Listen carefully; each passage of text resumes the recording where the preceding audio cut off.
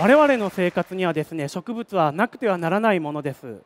植物は私たちに食料それから酸素それから繊維などいろいろなものを提供してくれます。この植物が健全に育っていくためには一体何が必要なんでしょうか？皆さんもご存知のように植物が生きていくためには適切な温度それから水光二酸化炭素酸素などが必要になります。しかしながらこれだけでは十分ではありません。実は植物は土壌中からですね窒素リンカリウムカルシウムといった14種類の無機元素を土壌から獲得する必要があります。この14種類の無機元素に炭素水素酸素この3つを合わせた17種類の元素は植物が生きていくのに必要不可欠であることから必須元素と呼ばれます。またこの必須元素の中でですね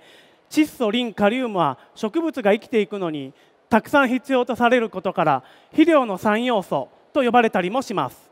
この肥料の元になるのは一体何なんでしょうか？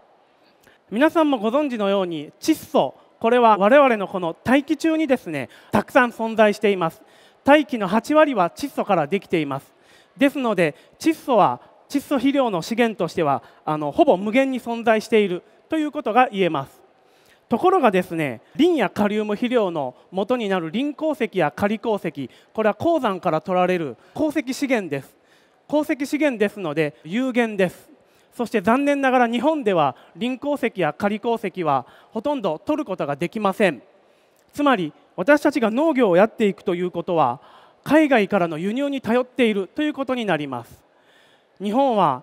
石油やレアメタルのような工業資源にも乏しいんですけれども臨鉱石や仮鉱石のような肥料資源農業資源にも乏しい国であると言えます。最後に私からのメッセージです。植物を育てていくのに肥料は必要です。ですが肥料資源は有限資源です。ですから我々はいろいろな工夫をしていかなければなりません。肥料を無駄遣いしないことはもちろん少ない肥料でよく育つ植物を開発したり肥料資源をリサイクルする技術